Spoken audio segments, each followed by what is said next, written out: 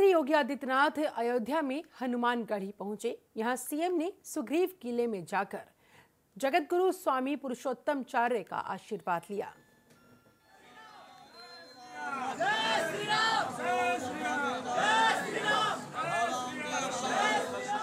जय श्री राम। के वहाँ नारे गूंजे मुख्यमंत्री योगी आदित्यनाथ अयोध्या के हनुमानगढ़ी पहुँचे थे, जहाँ कुछ इस तरह से फूल मालाओं के साथ उनका स्वागत किया गया। फिर उन्हें सबसे पहले चरणामृत दिया गया।